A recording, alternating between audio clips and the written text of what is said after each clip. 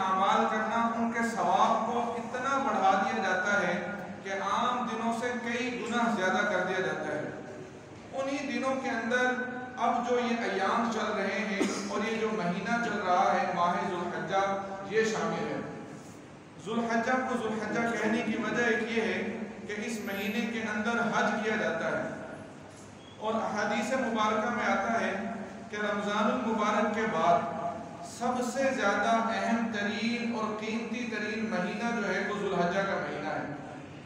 लेकिन आज हम देखते हैं अपने माशरे में और बड़ा अफसोस होता है कि हम इस्लामी तालीमत से इस कदर दूर हैं कि हमें इस माह की कदर और अहमियत और फजीलत का पता ही नहीं है। यही वजह है कि देखिए, जब रमज़ान आता है तो रमज़ान की कुछ तैयारियाँ होती हैं और रमज़ान के लिए हर बंदा तैयार होता है कि यार रमज़ान आ रहा है मैंने ये इबादत करनी है यूँ काम करना है अपनी सेटिंग्स चेंज करनी है। लेकिन जब जुल्हज्जा आता है तो हमें पता ही नहीं चलता कि कोई ख़ास दिन या कोई ख़ास महीना भी आया जबकि ये महीना वो महीना है कि इस महीने के अंदर इबादत करना और दूसरे महीनों में इबादत करना ज़मीन आसमान का फ़र्क है। बल्कि कुछ इबादत ऐसी हैं कि जो इस महीने के साथ खास हैं, इसके अलावा पूरे 11 माह वो इबादत नहीं कर सकते हम। जिनमें नंबर एक इस महीने के अंदर हज किया जाता है। अब इस महीने के अलावा हज कोई नहीं कर सकता। वो इसी महीने में, इसी महीने के खास तारीखों में होगा। वरना आप देखें अरफात मीना, मुजदलफा, हज के दिनों के अलावा कोई बंदा वहाँ चला जाए तो कोई सवाब नहीं। बहुत से लोग जो उम्र करने जाते हैं तो जियारात पर वहाँ जा रहे होते हैं। वो जियारात पर जाने का मकसद सवाब हासिल करना नहीं होता। दर हकीकत उसका मकसद ये होता है कि यार यहाँ पे लोग हज करते हैं, ज़रा हम देखें क्या शानदार जगह हो। कैसा वो मुकाम होगा वरना इसके अलावा ये नहीं कि अब अगर हम वहाँ जाएँगे, उस मैदान में चले जाएँगे तो हमारे गुनाह बख्श दिए जाएँगे, ऐसा कुछ भी नहीं। वो फजीलत इस महीने को ही हासिल है। इस महीने को ही वो फजीलत हासिल है। इसी तरह इस महीने के अंदर अल्लाह ताला ने कुर्बानी के तीन दिन रखे। हालाँकि जानवर ज़िबा आगे पीछे भी किए जाते हैं, रमज़ान में भी खैर, सदका खैरात किए जाते हैं। उसके बाद में सदक़ात किए जाते हैं। लेकिन जो फजीलत जानवर को ज़िबा करने की इन तीन दिनों में इस महीने के है, वो पूरे बाकी ग्यारह माह में कहीं नहीं मिलेगी। अगरचे बंदा जितने हज़ारों बकरे सदका कर दे वो नहीं, कुर्बानी के सवाब को टच भी नहीं कर पाएगा। यहाँ पर अगर कोई एक बकरा ज़िबा कर रहा है और बाकी महीनों के अंदर हज़ारों बकरे ज़िबा कर रहा है, कुर्बानी के सवाब को नहीं छू सकेगा। क्यों? अल्लाह ताला ने इस महीने को ऐसी फजीलत दी। और अब यहाँ पर एक मसला ये भी सुने के सदक़े के साथ ही बाज़ लोगों को चूँकि सदका समझते हैं कि शायद बकरा ज़िबा करना ही सदका है, ऐसा नहीं है। ये लोगों ने गलत मिसालें मशहूर कर दी हैं और बाज़ लोग तो यहाँ तक ले गए आगे के काला बकरा देना ही सदका है। तो ये कोई दीन इस्लाम से इसका ताल्लुक कोई नहीं है। बहरहाल सदका भाई, माली सदका हो, पैसों से दिए, दे दिया जाए या और किसी की हेल्प कर दी जाए, तमाम सदकात हैं। ये जो बकरा जिबा करने का हमारे यहाँ ट्रेंड चल रहा है, ये कोई ज़रूरी नहीं है। इसी तरह अल्लाह ताला ने इस महीने के अंदर तकबीरात तशरी को रखा। अब हमारे यहाँ तो आज के ये रवाज पा रहा है कि लोग समझते हैं कि तकबीरात तशरीक का ताल्लुक सिर्फ़ और सिर्फ़ नौ से लेकर तेरह जिलहजा तक है। वो वजूब के साथ है कि वाजिब है। नौ जिलहजा से लेकर तेरह जिलहजा तक तो पढ़ना वाजिब है।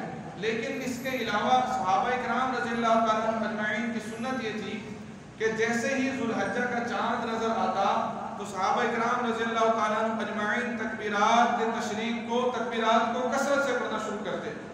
हती कि हज़रत उमर फ़ारूक रज़ी के बारे में आता है कि हज़रत बाज़ार में तशरीफ़ ले जाते और बुलंद आवाज़ से तकबीर पढ़ते। और जब हज़रत तकबीर पढ़ते तो पूरा बाज़ार जो है तकबीर पढ़ना शुरू कर देता और पूरे बाज़ार में तकबीर की आवाज़ें गूंजती। लेकिन आज हम देख सकते हैं कि हम इससे भी क्या हैं, बहुत दूर हैं। और वो तकबीरात, बाज़ लोगों को तो तकबीरात याद ही नहीं होती, वो जाकर पूछ रहे होते हैं जब तकबीर वाजिब हो चुकी होती। वरना उसकी फजीलत तो पहले से है। और वो तकबीर क्या है भाई? अल्लाह अल्लाह ला इलाहा इल्लल्लाह वल्लाहु अकबर अल्लाहु अकबर वलिल्लाहिल हम्द अब ये तकबीरात वो हैं कि इनको 10 दिनों के अंदर खूब पढ़ा जाए और उसके बाद भी खूब पढ़ा जाए। पूरे माह इसका, खूब इसका विरत किया जाए, कसरत की जाए। चलते, फिरते, कहीं जा रहे हैं तो तब भी बंदा ज़ोर से पढ़े। और अगर कोई साथी साथ में बैठा हुआ है तो इतनी आवाज़ से पढ़े कि उसको मैसेज मिल जाए कि यार मैं भी ये ज़रा तकबीर पढ़ लूँ। और अगर उसको नहीं आती तो इतनी आवाज़ से पढ़े कि उसको वो तकबीर याद भी हो जाए। तो इस अंदाज से सहाबा इकराम रजील्लाजमाइन इस माह को गुजारा करते थे इसके अलावा इस महीने के अंदर, इस महीने के जो पहले दस दिन हैं, उनकी फजीलत बहुत ज़्यादा है। हती कि इस कदर फजीलत है कि अल्लाह ताला ने इन पहले दस दिनों और इनकी रातों की कसम खाई। वल फजरी वलयाल पहली दस रातें जो है, उनके अल्लाह ताला क्या कह भाई आशर कहते हैं दस को, कि कसम है फजर की और कसम है दस रातों की। अब कसम उसी चीज़ की खाई जाती है कि जिसकी कोई इंपॉर्टेंस होती है जिसकी अहमियत होती है जिसकी कदर होती है उसकी बंदा क्या कह रहा होता है कसम खा रहा होता है जिसकी अहमियत नहीं उसकी कसम नहीं खाई जा रही होती तो इनकी अहमियत को और ज़्यादा बढ़ाने के लिए अल्लाह ताला ने कसम खाई केवल फजर। सबसे पहले फजर को लेकर आए कि फजर आम रूटीन में भी फजर जो है बाबरकत वक्त होता है। लेकिन हमारा माशरा तो चूँकि इस्लामी तालीमान से वैसे ही दूर जा रहा है, लिहाजा हमारे माशरे के अंदर ट्रेंड बन गया है कि लेट उठना है। वो जल्दी उठते नहीं। जबकि अल्लाह ताला क्या कह रहे हैं वल फजर, कसम है फजर के वक्त की फजर के वक्त बाबरकत, वक्त है। फजर के वक्त दुआएँ कबूल होती हैं। फजर के वक्त रिजक तकसीम होता है और फजर के वक्त सहल बंदा उठे और सांस ले तो वो सांस की जो बीमारी है, वो भी इस वक्त दूर होती है। लेकिन हम चूँकि इससे भी दूर हैं। आगे फरमाया वालयाल आशर और कसम है दस रातों की। वो दस रातें जमूर मुफसरीन इकराम ये फरमाते हैं कि ये जो जुल्हज्जा की पहली दस रातें हैं, वो ये वाली हैं। अब इनकी फजीलत अहादीस मुबारक में कसरत से आई है। नबी अलैहिस्सलाम ने फरमाया कि रमज़ान के अलावा बाकी पूरे साल रोज़े रखना इन दिनों से ज़्यादा अफजल नहीं है। यानी कि एक शख्स इन दिनों में रोज़ा रखता है तो रमज़ान के अलावा पूरे साल यानी कि इतना सवाब नहीं मिलेगा जितना कि इन दस दिनों में रोज़ा रखने का सवाब मिलेगा।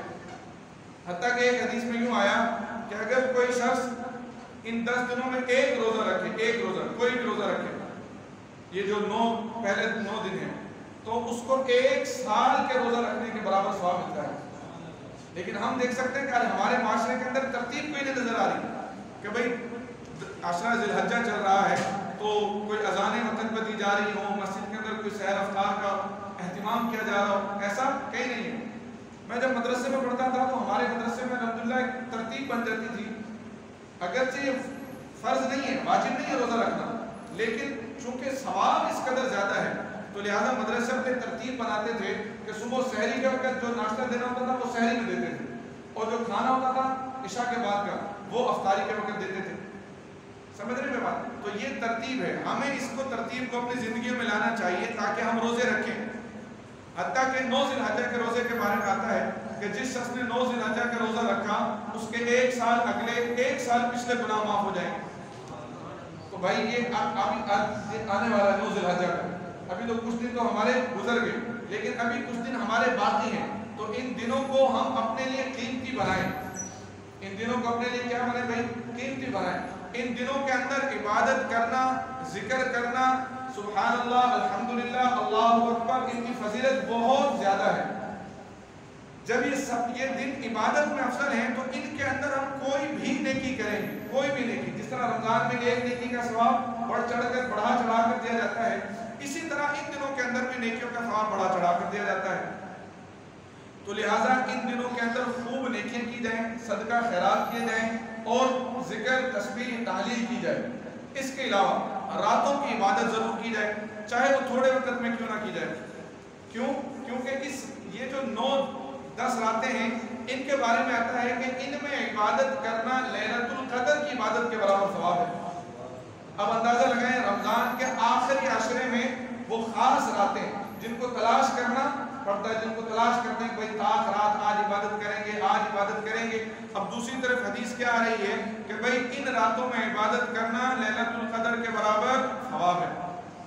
लेकिन आज हमारे यहाँ इनमें भी अहतमाम कोई नहीं, बल्कि हमारे यहाँ अहतमाम हो रहा होता है कि बास वो उन रातों का कि जिनके बारे में हदीस मुबारक में फजीलत भी नहीं है।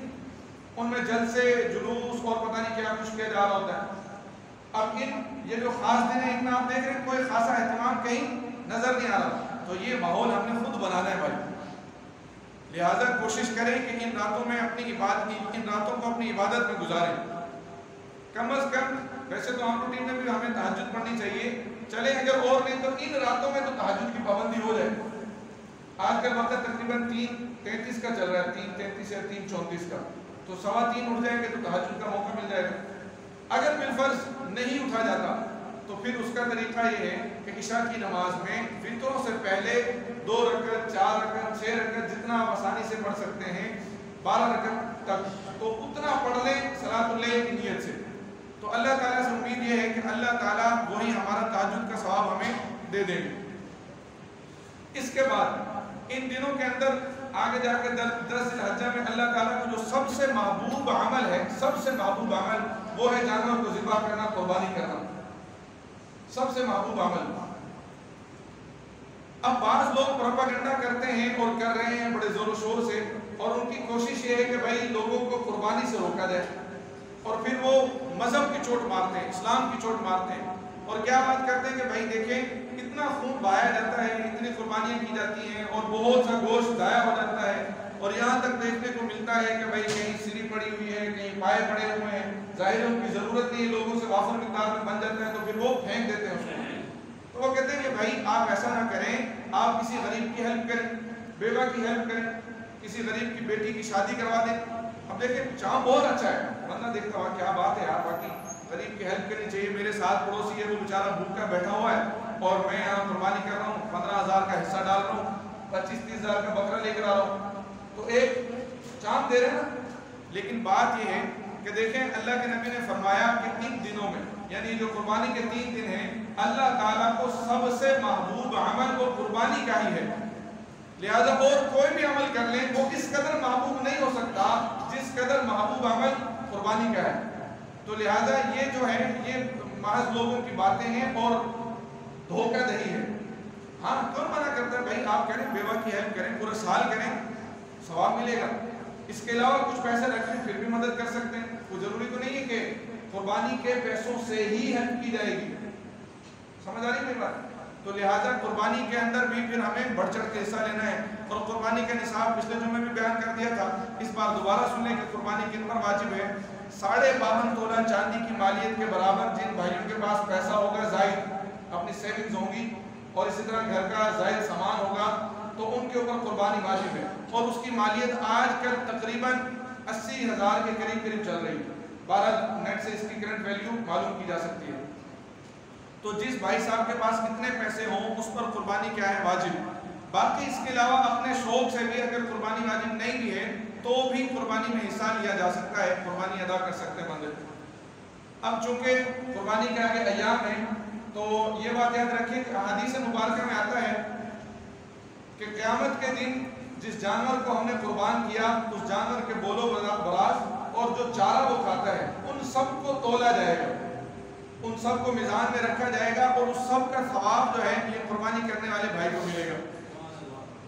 तो लिहाजा इससे मालूम ये हुआ कि हम कुर्बानी का जानवर पहले खरीदें, ताकि हम उसको खिलाएँ, पिलाएँ। तो ये जो ज़्यादा समय जो पहले से हम उसको खिलाएँगे, पिलाएँगे, क़यामत के दिन हमें क्या आएगा? काम आएगा। हम गोया क़यामत के लिए अपनी नेकियाँ इकट्ठी कर रहे होंगे। और फिर कुर्बानी की फजीलतें तो बहुत हैं। अहादीस मुबारक में आता है कि रसूलुल्लाह सल्लल्लाहु अलैहि वसल्लम ने फरमाया जिस शख्स ने जानवर को कुर्बान किया, उसके लिए इतनी नेकियाँ हैं कि जितने उसके जिस्म पर बाल हैं। अब अंदाज़ा लगाए, बालों को शुमार कौन कर सकता है भाई? काउंट नहीं कर सकते। कितनी मशीनें आ गई, लेकिन फिर भी बालों को काउंट नहीं कर सकते। बेशुमार बाल हैं। तो गोया बेशुमार नेकियाँ हैं। लिहाजा कुर्बानी के अंदर खूब हिस्सा लिया जाए। अगर अपना जानवर नहीं खरीद सकते तो फिर हिस्सा डाल दिया जाए। अब हिस्से के अंदर एक बात याद रखें। कि हिस्से के अंदर इस बात की बखूबी जाँच पड़ताल कर लें कि कहीं हमारे हिस्सेदार जो हैं, उनमें कोई बदअकीदा बंदा ना हो, कोई कादियानी ना हो, कोई और दूसरे तीसरे कोई सूद खाने वाला बंदा ना हो, जिसके आराम कमाई हो। कोई ऐसा बंदा ना हो कि जिसकी नीयत कुर्बानी नहीं है, उसकी नीयत में महज ये कि भाई गोश्त आएगा मुझे। तो अगर ऐसा बंदा शामिल हो गया तो फिर क्या होगी? उसकी कुर्बानी नहीं होगी। अब इसके दो हल हैं। नंबर एक उन लोगों के लिए जो हिस्से डलवाते हैं, जो इदारे हैं, जिस तरह हमारे यहाँ पे मस्जिद में अलहमदिल्ला कुर्बानी के हिस्से डलवाए जाते हैं। तो उनका हल ये है कि भाई जो आपके पास हिस्सा डालने आ रहा है, उससे दो तीन बातें पूछ ली जाएँ अकीदे के बारे में, कि तेरा अकीदा क्या है, माल की कमाई कहाँ से आ रही भाई, बैंक में तो नहीं, कहीं जॉब कर रहा सूदी बैंक में। और इस तरह सूद तो नहीं खाता। ये अच्छी तरह तहकीक करके फिर उसका हिस्सा डाला जाए। ऐसा ना हो कि फ़ोन पर किसी ने फ़ोन किया और ठीक है भाई, डाल दो हिस्सा। उससे क्या होगा? दूसरों की भी हिस्सेदारी खराब होगी। और फिर एक बेहतरीन हल ये है कि जो शख्स कुर्बानी करना चाहता है और हिस्से डालना चाहता है, वो अपने कुछ दोस्तों को शामिल करे जिनके ऊपर अतमाद है जिनकी कमाई हलाल है। वो उनको शामिल करके फिर हिस्सेदारी बना ले। उससे क्या होगा? महफूज हो जाएगा। बिल्कुल कुर्बानी जो है, ठीक तरीके से होगी। अब इससे आगे देखें। कुर्बानी का जानवर जब आप खरीदने जाएँगे तो कुछ बातों का उसमें भी ख्याल रखें। नंबर एक, कुर्बानी का जानवर खरीदते वक्त उम्र हम जाँच नहीं सकते कि इसकी उम्र कितनी है। हादिस मुबारक में उम्र मुतन है। बकरी की उम्र एक साल, भैंस, गाय और ये जो है बछड़ा, इसकी उम्र क्या है भाई? दो साल। इसी तरह ऊँट की उम्र पाँच साल। अब चूँकि मंडी में जाते हैं तो मंडी में उम्र का नहीं पता चल सकता, और हो सकता है वो बंदा खुद ही कह रहा हो, लेकिन इनकी अलामत है, और इनकी अलामत ये है कि वो दोंदे हो जाते हैं, दोंदे हो जाते हैं। लिहाजा जब जानवर खरीदना है तो सबसे पहले उसको देखना है कि ये दोंदा हो। नंबर दो, उसके बाद उसके अंदर देखना है कि इसमें कोई आयब ना हो। अगर आयबदार जानवर होगा तो उसकी कुर्बानी भी नहीं होगी। और ये जो बेचने वाले होते हैं, इनकी कोशिश यही होती है कि आयबदार जानवर किसी तरीके से बेच दें खास तौर पर जब ये अंधेरे में खड़े होते हैं, जहाँ पर लाइट कम होती है, जिन भाइयों ने मंडी विज़िट की उनको इसका अंदाज़ा हो रहा होगा जो बात मैं कर रहा हूँ। और इसी तरह जो मोड़ पे खड़े होते हैं, मोड़ों पर वैसे ही खड़े होते हैं, इनका अड्डा नहीं होता, उनके पास जानवर ऐसे होते हैं, वो बस चलाओ काम कर रहे होते हैं। तो लिहाजा पहले खूब अच्छी तरह उसको देख ले। और उन्हें क्या चीज़ें देखनी है? भाई, पहले आँख देखें, दोनों आँखें ठीक है इसकी? अंधा अंधा या काना ना हो। वरना उसकी कुर्बानी नहीं होगी। नंबर दो, उसके सींग देखें। अच्छा सींग में दो बातें हैं। नंबर एक ये कि सींग में आपने ये बातें देखनी है कि इसके पैदाइशी सींग नहीं है। अगर तो उस जानवर के पैदाइशी सींग नहीं है, फिर वो आयब नहीं है। लेकिन अगर पैदाइशी सींग थे और उसके बाद जानवरों के आपस में लड़ाई या किसी भी वजह से, टक्कर की वजह से जानवर का सींग टूट गया, जड़ से टूट गया, अब वो ऐब है, उस जानवर की कुर्बानी नहीं होगी। उस जानवर को ना खरीदें। इसी तरह फिर उस जानवर का जिसम देख लें कि इस जानवर का जिसम साफ़ है। अगर तो उसके जिसम पर खारिश है, और खारिश किस कदर है कि वो जख्म बन गया तो उसकी खारिश गोश्त के अंदर सिरायत कर गई है। उस जानवर को ना खरीदें। उसकी कुर्बानी भी नहीं होगी, वो आयतदार जानवर है। इसी तरह अगर जानवर इस कदर दुबला पतला कमज़ोर है कि हड्डियों का ढांचा बना हुआ है, उसको भी ना खरीदा जाए। वो भी आयबदार जानवर है। इसी तरह जानवर को चला के देखें कि कहीं वो लंगड़ापन ना हो उसमें। मामूली सा लंगड़ापन है बाज अवत ये होता है कि जानवर के पाँव में कोई कील, वील, इस तरह कोई चुप जाती है तो उसकी खैर है। अगर इतना लंगड़ापन है कि वो अपने पाँव को, एक पाँव को ज़मीन पर लगा ही नहीं पा रहा है कि उसके ऊपर वज़न नहीं डाल पा रहा तो वो ऐबदार है, उसकी कुर्बानी नहीं होगी। और उसको वहाँ पर खूब अच्छी तरह भगा के देख लें, थोड़ा चला मतलब रन करके देख लें। और उनके ऊपर ना इमोशन में बाजू का जो है पीछे से थप्पड़ मारते हैं। थप्पड़ मारने की वजह से जानवर भाग उठता है और फिर कहते हैं, भाई, वाह, क्या हटा करता है। वो जब हम जब जब तक घर लाते हैं तो थप्पड़ का असर खत्म हो चुका होता है। अब जब थप्पड़ का असर खत्म हो चुका है तो घर आकर वो ढीला डाला नज़र आता है। फिर घर वाले भी कहते हैं, ये क्या उठा रहा है? तो लिहाजा वहाँ पर खूब अच्छी तरह अपनी ताकीद कर लें, उसको देख लिया जाए। इसके अलावा अगर मादा जानवर खरीद रहे हैं तो मादा जानवर के अंदर थन, या तो दो थनों वाला बकरी वगैरह खरीद रहे हैं, या फिर भैंस है, गाय है, वो खरीद रहे हैं ऊँटनी है। तो जो दो थन वाले हैं, उनमें अगर एक थन उसका खराब है, एक थन खराब है तो वो ऐबदार है। और अगर चार थनों वाला जानवर है, और उसका एक थन खराब है, तीन थन ठीक है तो वो जानवर ठीक है, वो ऐबदार नहीं। लेकिन अगर चार थनों में से दो थन ऐबदार हैं तो वो भी जानवर ऐबदार होगा और उसकी कुर्बानी नहीं होगी। ये बात होगी। अब उसके बाद ये, बाकी बातें इंशाल्लाह ईद के मौके पर की जाएँगी, उसके ज़िबा करते वक्त किन बातों का ख्याल रखना है। उससे पहले चूँकि जो बातें उससे पहले की हैं, वो पहले सुन लें। उससे पहले भाई अपने छुरी और ये बुगदे शुगदे अच्छी तरह पहले से तेज कर लें। ऐसा ना हो कि छुरी इतनी ढीली ढाली हो कि कारी साहब ज़िबा कर रहे हो या जो भी बंदा ज़िबा कर रहा हो, वो बेचारा वहीं पर उसको रगड़ता ही रह जाए। और आजकल इतने जानदार लोग भी नहीं है। अपनी जान नहीं, अपनी जान से चला दे। लिहाजा कारी साहब का ज़ोर ना लगवाएँ भाई। छुरी का ज़ोर ही लगवाएँ छुरी को इतना तेज करें कि बस टच करें और काम हो जाए। समझ रहे बात? और एक बात इस बात का ख्याल रखें कि जानवर के सामने छुरियों को ना तेज किया करें। छुरियों को साइड पर तेज करें, पहले से तेज रखें और साइड पर तेज करके रखें। इसी तरह, एक ये भी मुस्तहब अमल है और सुन्नत अमल है कि अपना जानवर खुद जिबा करें। जी हाँ और मुश्किल नहीं है। मतलब जो करते हैं उनके लिए मुश्किल नहीं है। अब हर किसी के लिए तो खैर होता है, अलग बात है। बिस्मिल्लाह अकबर, ये तकबीर है भाई, अपना जानवर खुद जिबा करें। इसी तरह घरों में खातन होती हैं, उन्होंने भी बाजों का जानवर लिए होते हैं, जिनके पास सोना है, जिनके पास जेवर रखा हुआ है, जिनके पास कुछ सेविंग्स हैं, जितने भी आपको बताई तो उनके ऊपर कुर्बानी अलग वाजिब होगी। उनके ऊपर कुर्बानी अलग वाजिब होगी। अब जब वो क्या करें, वो तकरीबन एक अपने जानवर को देख लें, बस इतना काफ़ी जिबा होते हुए। चूँकि ज़ाहिर है कसाई वगैरह होते हैं जहाँ पर बाहर लोग होते हैं, वहाँ तो नहीं खातून जा सकती। तो इसलिए वो बस जानवर को देख लें, इतना ही काफ़ी होगा उनके लिए। तो ये है भाई कुर्बानी के लिए, ये चीज़ें कुर्बानी के मसाइल। इसके अलावा, ईद के बयान से पहले ही चूँकि बात करने का मौका नहीं मिलेगा तो तकबीरात तशरीक जो हैं, उनका भी ख्याल करें। नौ जिलहजा ईद है दस जिलहजा को। नौ जिलहजा की फजर से ये तकबीरात तशरीक हर नमाज़ के बाद, नौ जिलहजा की फजर से तेरह जिलहजा की असर तक हर नमाज़ के बाद एक मरतबा पढ़ना वाजिब है। बावाज बुलंद। औरतों के लिए आहिस्ता आवाज़। वो नहीं बहुत आवाज़ से नहीं पढ़ेंगे। मर्द से बुलंद पढ़ेंगे। अल्लाह अकबर अल्लाह अकबर। ला अकबर। अल्लाह अकबर, वलिल्लाहिल ये, एक दफ़ा दोहरा ले अल्लाह अकबर अल्लाह अकबर। ला वल्लाहु अकबर। अल्लाह अकबर, वलिल्लाहिल ये नौ जिलहजा की फजर से तेरह जिलहजा की असर तक। अब इसके अंदर होता यह है कि चूँकि हम जमात के साथ नमाज़ पढ़ रहे होते हैं, अब पूरे साल की रूटीन नहीं है तो बाद स्किप हो जाती, बातें नहीं भी याद रहती। तो लेकिन जमात की बरकत से दूसरे लोग पढ़ते हैं तो हमें याद आ जाती है। अब जो घर में खातन नमाज़ पढ़ रही होती हैं, उनके लिए मसला होता है। वो फजर जैसे फर्जों से फारिग हुए, सलाम फेरा, याद नहीं रही बाद में याद आई तो ज़ाहिर है उनका वाजिब छूट गया। तो उनके लिए हल ये है, और ये मर्द हजरात को चाहिए कि उनका उसका मामला हल करके दें कि किसी भी पेज पर ये तकबीरात तशरीक लिख कर उनको जो जाए नमाज़ है, उसके सामने जो जगह है, वहाँ पर चश्मा कर दें। अब ज़ाहिर सलाम फेरेंगे सामने नज़र पड़ेगी तो फ़ौरन से याद आ जाएगा। फ़ौरन से याद आएगा, वाजिब है तर के वाजिब है, उसका गुनाह नहीं मिलेगा, और उसका वाजिब अदा हो जाएगा। तो लिहाजा इन बातों का भाई खूब ख्याल कर लिया जाए हाँ तो आ, मेरे ख्याल से ठीक है अब बाकी ईद की नमाज़ के वक्त मशवरा कर लें किस वक्त करना चाहते हैं? बकरा ईद की नमाज़ किस टाइम खड़ी कर लीजिए सर आप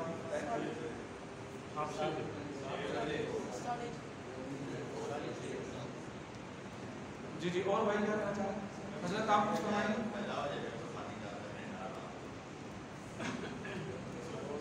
ठीक फिर मेरे ख्याल से दो, दो राय के बीच के एक राय साढ़े छः है। साढ़े छः ठीक है।